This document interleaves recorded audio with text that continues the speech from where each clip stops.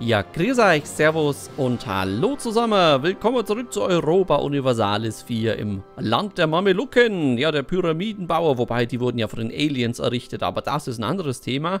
Ja, wir sind zurück im Mameluckenreich und unserem großen Mameluckenreich. Wir haben ja hier etwas expandiert gen Westen und ähm, ja, haben starke neue Bündnisse mit Frankreich auch wenn Frankreich gerade im Krieg ist, aber ich denke, das war toll, dieses Bündnis richtig stark. Aktuell Frankreich, Österreich, Ungarn, unsere Bündnispartner.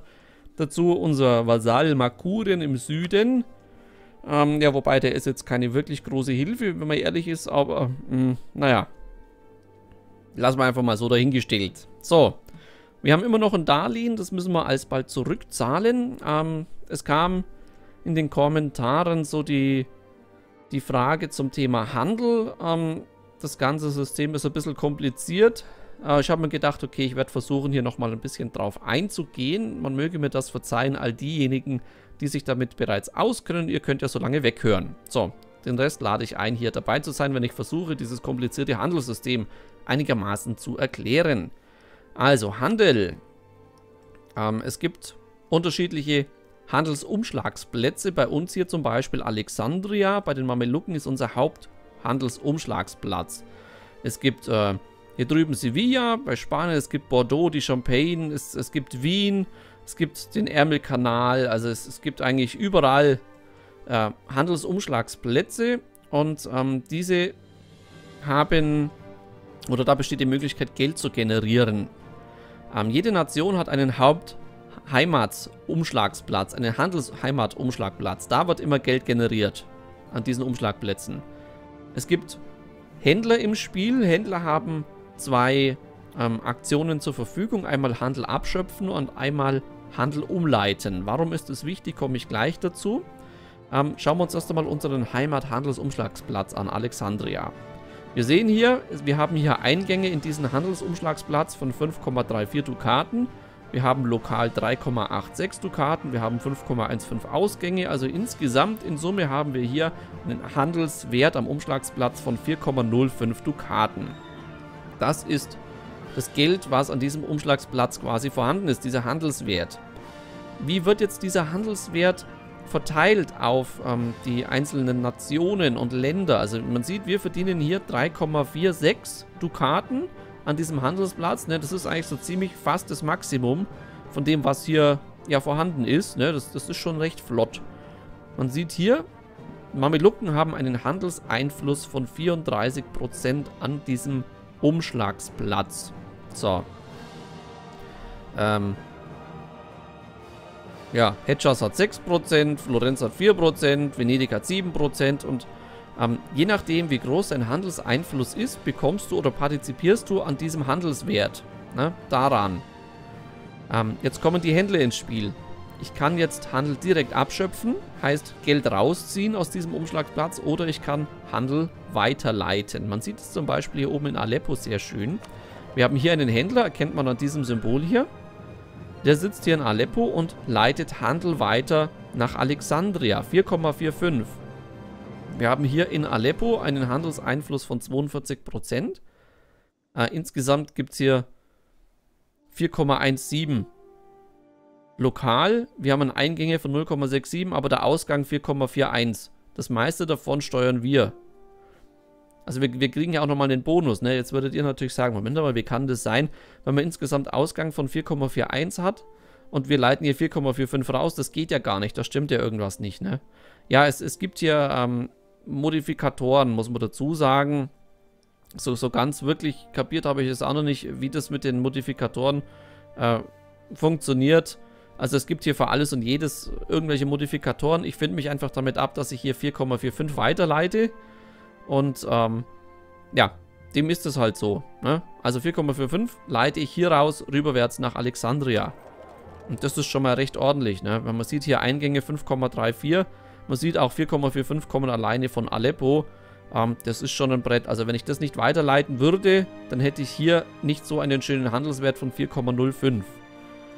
Ähm, in meinem Haupthandelshafen schöpfe ich automatisch ab. Da brauche ich keinen Händler zu. Ich könnte auch den Händler hier drüben jetzt abschöpfen lassen in Aleppo.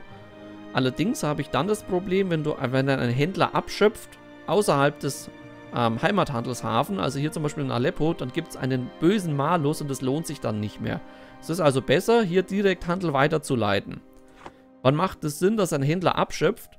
Nur dann, wenn, die, wenn der Handelshafen so weit weg ist von unserem Abschöpfhandelshafen, ähm, also zum Beispiel hier drüben, hier in, ähm, bei Indus, wenn ich jetzt hier einen Händler sitzen hätte und ich kann hier nichts vernünftig weiterleiten nach Alexandria, dann macht es vielleicht Sinn, hier direkt abzuschöpfen und den Malus in Kauf zu nehmen, weil ich da im Endeffekt mehr verdiene, als wenn ich ihn weiterleite. Also wenn ich jetzt hier einen Händler habe und ich leite weiter hier rüberwärts und leite dann weiter hier rüberwärts und leite dann weiter hier rüberwärts und dann hier rüberwärts, dann hätte ich hier eine elendlange Handelskette. Das würde sich lohnen, hier weiterzuleiten. Das gibt einen guten Bonus. Aber wenn ich halt hier einen sitzen habe und hier niemand und hier niemand und erst hier wieder einen, dann habe ich hier einfach zu viel Luft zwischendrin und dann ist dieser Weiterleitungseffekt null und nichtig und dann macht es mehr Sinn, hier abzuschöpfen. Aber das bedingt natürlich vielerlei Händler. Wir haben nur zwei, also stellt sich diese Frage gar nicht. So, wie kommt jetzt, äh, wie kommen diese Werte hier zustande? Also Eingänge, Ausgänge, ne, das mit den Eingängen haben wir gesehen, von Aleppo wird weitergeleitet. Ausgang ist das, was hier symbolisiert durch diese Pfeile rausgeht aus diesem Handelshafen. Ne? Wir sitzen jetzt hier in Alexandria, da haben wir vier Eingänge, drei Ausgänge. Ja, ist natürlich böse, wenn du drei Ausgänge hast. Ne? Das ist nicht toll. Es gibt Handelshäfen, zum Beispiel hier den, den Ärmelkanal, der hat keinen einzigen Ausgang, da kommt nur an. Ne? Da kommen nur Eingänge. Das ist natürlich super, so ein Handelshafen. Aber gut, wir sitzen halt hier in Alexandria, also müssen wir jetzt damit leben. Ähm, wie kommt dieses Lokal zustande? Man sieht hier sehr schön die Provinzen, die Handel, Handelswert für diesen Handelshafen generieren. Ähm, ja, das ist eine Provinzgeschichte. Man sieht es auch hier an dieser farblichen Kennzeichnung, welche Provinzen zu Alexandria gehören, welche zu Tunis gehören, welche zu Safi gehören, welche zu Sevilla gehören. Ne, das ist so farblich schön hervorgehoben in dieser Handelskarte. Und diese Provinzen tragen quasi zu dieser lokalen Produktion bei. Jetzt sollte man versuchen, ähm, zu schauen, dass man die Provinzen, die richtig wertvoll sind für den Handel, dass man die kontrolliert. Die erkennt man an diesen Symbolen hier. Nil-Delta-Mündung, Handelseinfluss plus 10. Ne? Lokaler Handelseinfluss, das hier. Und wenn man mal hier auf den Handelswert schaut, also wir haben hier 18,4 Handelseinfluss, die Provinz nebenan hat 2,9, äh, toll, super. 2,9, 2,0, 1,4, also ihr erkennt es, ne? Diese Dinger sind wichtig, da muss man drauf achten. Und diese Provinzen, habe ich schon mal gesagt, da macht es Sinn, auch Marktplätze zu bauen, einfach um den Bonus zu pushen. Und hier macht es auch Sinn, den Stand der Kaufleute reinzusetzen. Habe ich noch gar nicht gemacht. Aber das gibt ähm, auch nochmal Handelseinfluss. Das werden wir hiermit tun. Wir werden in diesen wichtigen Provinzen unsere Kaufleute reinsetzen. So, und in diesen Provinzen ist es auch wichtig, dass man eine möglichst gute Handelsware hat, weil die steigert den Handelswert hier nochmal. Ne? Wenn du eine Provinz hast mit einer guten Handelsware, dann drückt es automatisch den Handelswert nach oben. Das ist sehr schön. Gut für den Handel. Gut für die lokale Produktion des Handels. Ne? Hierfür. Genau, richtig. Also 3,46 müssen wir uns merken, gell? Wir haben jetzt hier die Kaufleute reingestellt, 3,46. So, dann werde ich die Zeit einmal ein bisschen laufen lassen. Es wird immer zum Monatsanfang neu berechnet.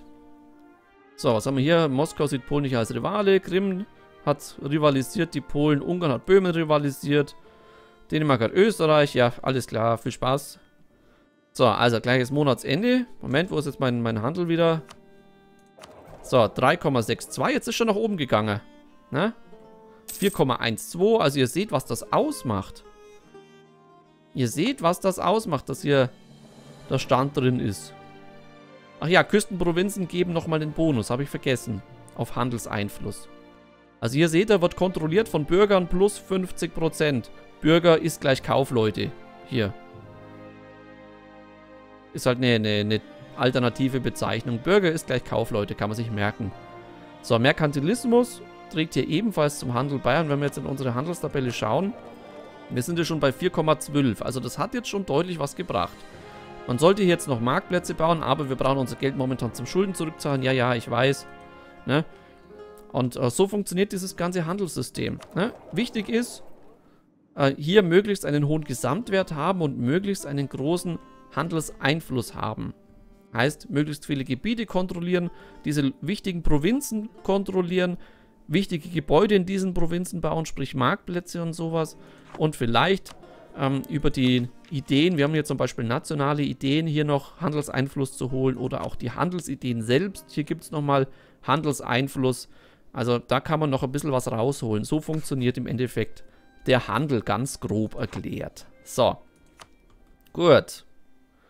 Ach ja, man, man kann mit leichten Schiffen zum Beispiel den Handel noch schützen. Ne? Das machen wir ja in Aleppo. Ähm, müsste bei Lokal... Ne, wo, wo steht es?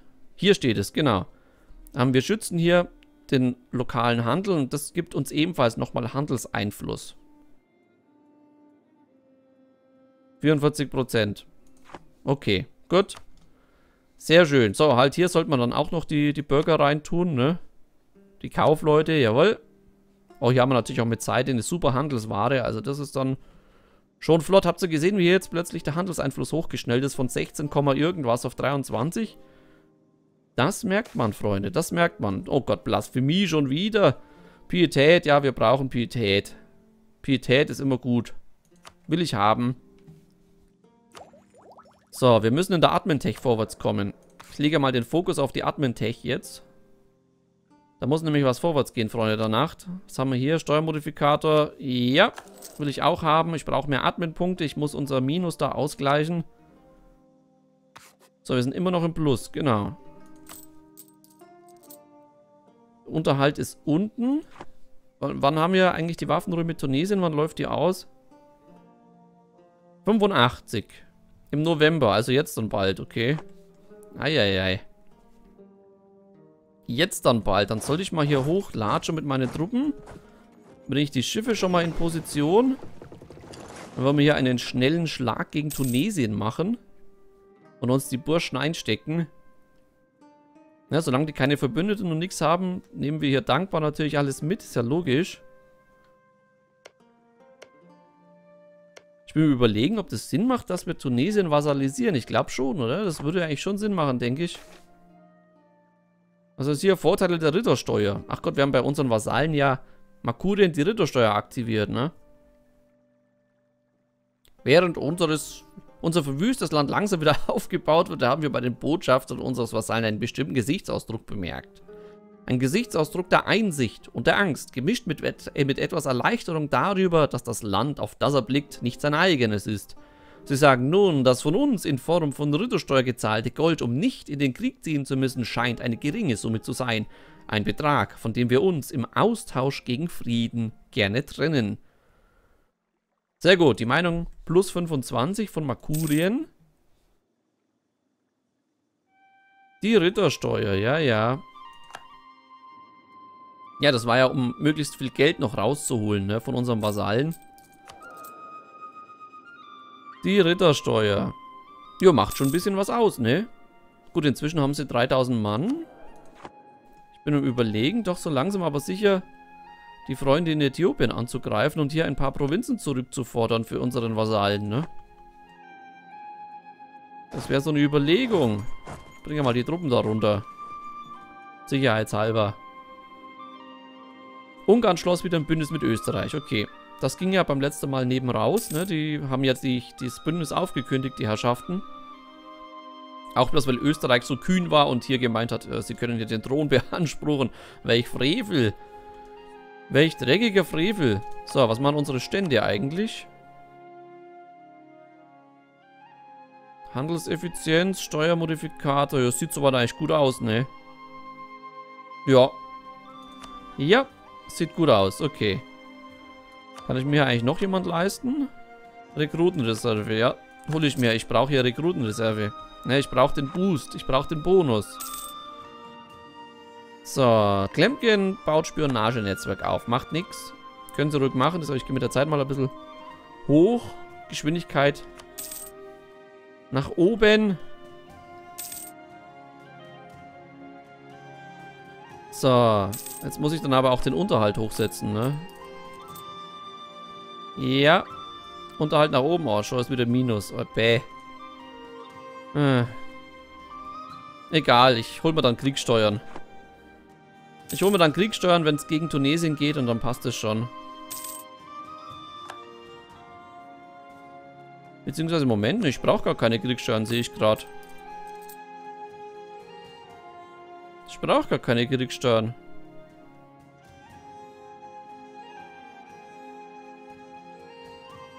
Hm. Ne, wir, wir holen uns ja Geld durch Belagerung und alles, ne? Stimmt. So, jetzt, ne? Hol dir die Moral noch schnell, okay. Dann gibt's hier Gloppe, Freunde. Dann gibt's hier Gloppe. Sie haben noch kein Bündnis. Oh, sie haben Stufe 6 schon, also so wie wir.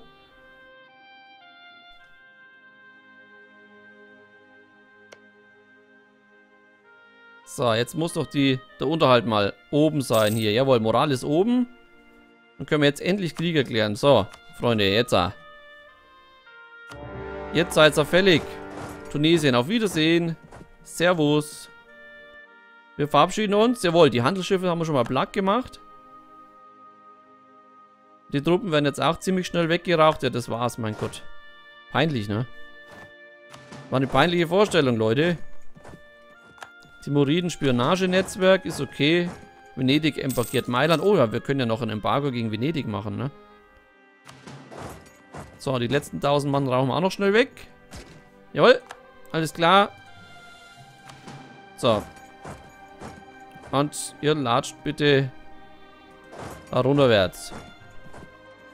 Ja, weil wir haben hier unten noch ein kleines Rebellenproblem. Darf man nicht außer Acht lassen. Heißt, wenn die Rebellen hier kommen, dann müssen wir wahrscheinlich auch mal schnell dazwischen kloppen. So, zwei Provinzen sind schon bereits erfolgreich belagert. Ferrara, Moment, Ferrara schnell Anspruch fingieren. Das haben wir ja gemacht, weil wir gehofft haben, dass wir hier eventuell einen äh, Krieg zwischen Frankreich und Aragon provozieren können, dass dieses Bündnis äh, aufbricht. Weil ja Ferrara verbündet ist mit Aragon, aber nicht mit Frankreich. Das wäre so die Idee, die dahinter steckt. Weil Aragon Frankreich ist ein böses Bündnis, speziell gegen den Österreicher. Und das wollen wir natürlich nicht. Ne, das wollen wir möglichst vermeiden.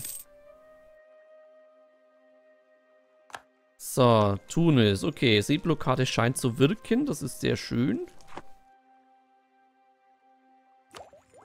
Naja, neue Technologie ist klar, wollen wir nicht. Nö, nö, lass gut sein. Was ist denn da drüben los?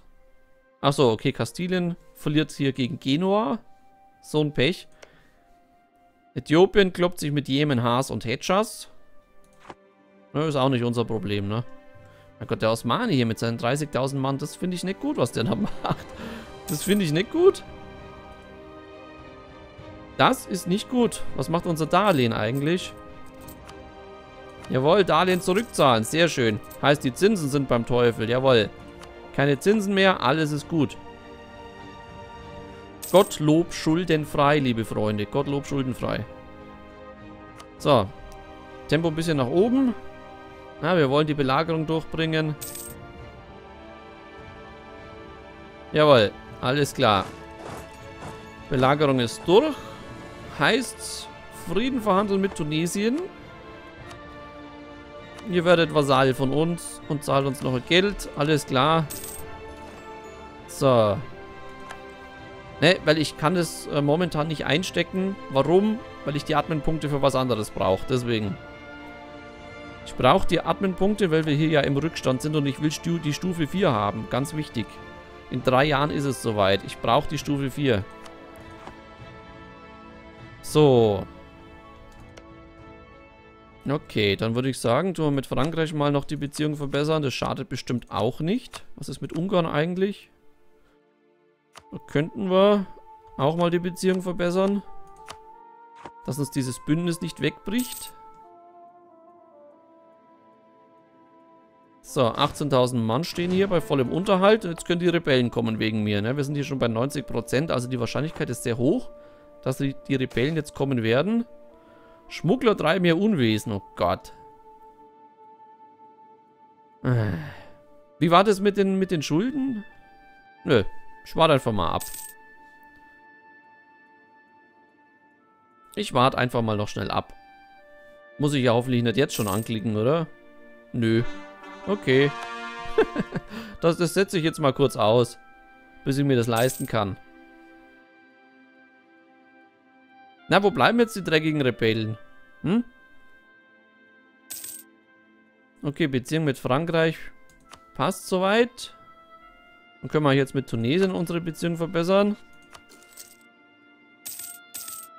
Jawohl, Beziehung verbessern, Waffenstillstand mit... Oh, jetzt haben wir den Kredit doch aufgenommen. Verdammt!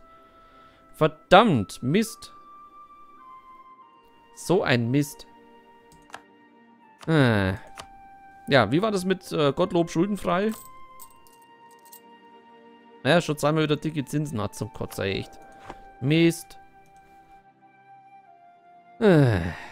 Ja, es hätte so einfach sein können. Oh, wir können verwestlichen. Sehr gut. So, genau. Schicken wir mal hier so einen kleinen Diplom nicht Diplomaten, sondern einen kleinen Missionar hin. So, Raubritter. Wir kriegen Grundsteuer oder Grundproduktion in Wahrheit. Äh. Wo ist Wahrheit? Hier, okay. Mei, das ist glaube ich gerade wurscht hier, oder? Das ist doch völlig egal. Das ist doch völlig egal.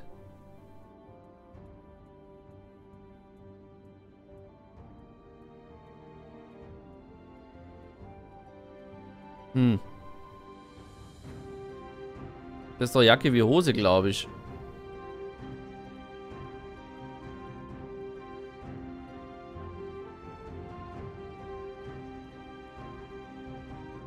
Äh, machen wir Grundsteuer. Ist doch wurscht. Das ist doch gerade egal. So. Fahrrad. Große Provinz, mein Gott. Puh. Ne, wen interessiert das? Mich interessiert vielmehr unser, unser Darlehen. Jawohl, die Rebellen sind endlich da. Endlich. Mein Gott, dass ich das einmal sage, die Rebellen sind endlich da. Hätte ich auch nie gedacht. die Rebellen sind endlich da. Jawohl. Dreckige Rebellen. Gott sei Dank. Ist auch Zeit geworden. So, da sind sie weggeklatscht, die Burschen. Man dürfte mal hier rüber wackeln. So, ein bisschen Geschwindigkeit aufnehmen. Oh, oh, unsere Rekruten eben, mein Gott. Äthiopien tut mal wieder böse Ansprüche fingieren. Der Osmane ist auch schon wieder böse. So, Aragon hat Portugal rivalisiert. Frieden mit Kastilien. Aragon tritt Kastilien, bla bla bla an Kastilien. Was? Hat Kastilien gewonnen? Echt? Wow. Respekt. Kastilien holt sich Provinzen zurück. Ihr seid ja klasse, Jungs. Bin schwer begeistert, da. Bin sehr schwer begeistert. Mein Gott, hättet ihr nicht das Bündnis mit Frankreich auflösen können, ihr Deppen? Also Kastilien, das äh, verstehe ich nicht ganz, aber macht ja nichts. Man muss ja nicht alles verstehen. Man muss ja nicht immer alles verstehen. So, wir kriegen Pietät. Jawohl, das nehme ich doch gerne bin absoluter Freund von Pietät. Sowas finde ich gut.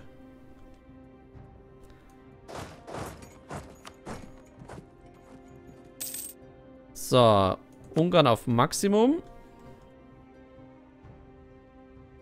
Dann könnte man eigentlich mit Makurien... Nö, brauchen brauch wir eigentlich nicht, gell? Nee. Scheiß Darlehen, echt. Mann, Mann, Mann, da, echt. Ah. Dreckiges kleines Darlehen. Wie viel Überdehnung haben wir eigentlich? Nichts mehr, oder? Wir haben, nee, wir haben keine Überdehnung mehr. Wir können verwestlichen, ja, richtig. Mein Problem ist, verwestlichen erzeugt jede Menge Unruhe. Verteuert die Berater. Ich hätte gerne zuerst ähm, Diplotech hier oben auf Level 4, bevor ich das mache. Das wäre mir ganz wichtig. So, Äthiopien, ihr seid immer noch... Ne, ihr seid nicht mehr im Krieg, okay. Die haben hier ordentlich was rausgeholt, ne? Ja. So, dann würde ich sagen, wir erklären Äthiopien den Krieg. Rückeroberung, Kernprovinzen. Auf geht's. So, wir holen uns hier unseren Thronmeister. So, kollektives Vorrücken bitte. Tunesien ist dabei, okay. Moment, Tunesien ist doch illoyal. Die werden nicht dabei sein. Kann ich mir nicht vorstellen, dass die dabei sind im Krieg. ich glaube, das war gerade ein Fehler. Ah, wobei, es wird angezeigt, witzigerweise. Okay. So, was? Die haben... Die haben gerade mal 13.000 Mann. Okay, das ist nicht viel, ne? Nee. Das ist nicht viel. Da kommen 10.000.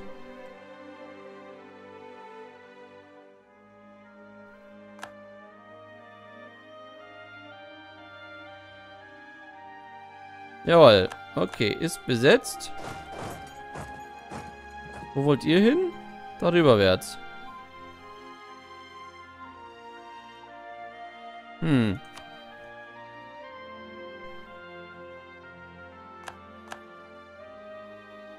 Wo wollt ihr hin?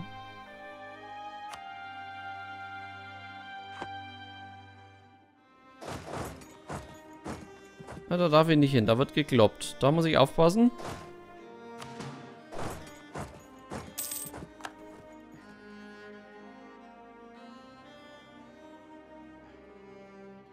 So.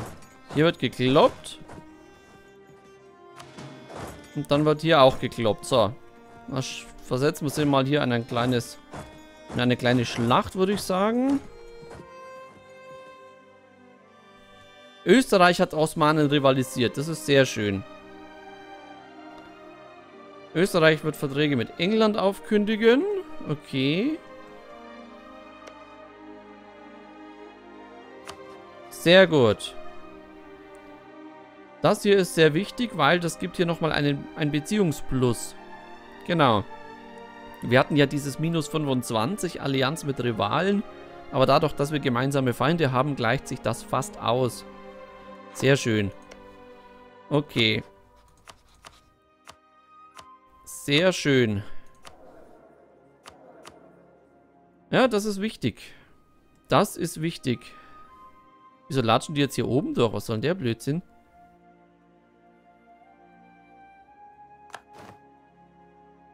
Wo wollten ihr hin eigentlich? Hm, ich glaube, ich muss euch noch holen da oben. Ihr spinnt ja. Ihr spinnt ja komplett. Ach, jetzt latschen sie da rüber, okay. Die... Bleib doch mal stehen, Mensch. Dieses Versteckspiel nützt doch keinem. Oh, England muss Provinzen an Schottland abdrehen. Frankreich hat Österreich rivalisiert. Nein. Jetzt haben wir natürlich bei Frankreich hier auch diese minus 25, ne? War fast zu erwarten, dass das kommt, ja. Es war fast zu erwarten, dass das kommt.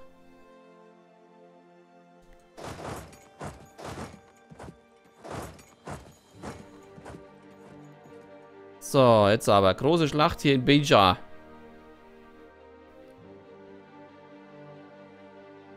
Jawohl. Sehr gut. Da, ihr hupft da noch mit, oder ihr, ihr hupft darüber. Genau, könnt noch ein bisschen belagern. Kulturelle Unruhe, oh Gott. Lokale Autonomie in Sub. Lokale Unruhe. Ja, das ist gerade wurscht eigentlich, gell? Weil die Provinz hat eh schon 75%. Da, da holen wir nichts mehr raus aus der Provinz. Da ist gerade egal. So, ihr flüchtet. Da runterwärts. Ja, komm mal, stopp, stopp. Ich tue erst nochmal hier die 2000 Mann wegklatsche. Okay.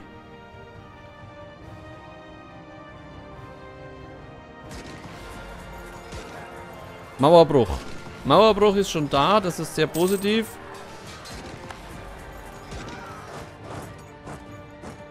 Portugal hat Mamelucken rivalisiert. Oh Gott. Okay, jetzt wird's lustig. Jetzt wird's lustig, glaube ich.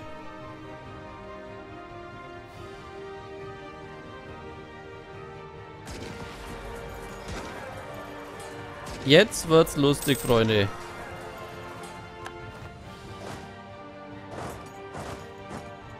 Jetzt wird's ganz lustig.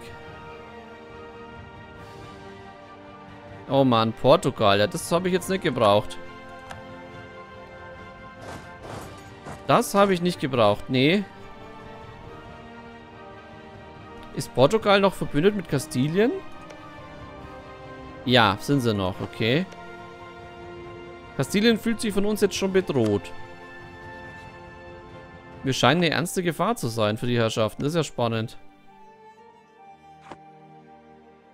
Die ersten westlichen Mächte wenden sich uns zu, liebe Leute.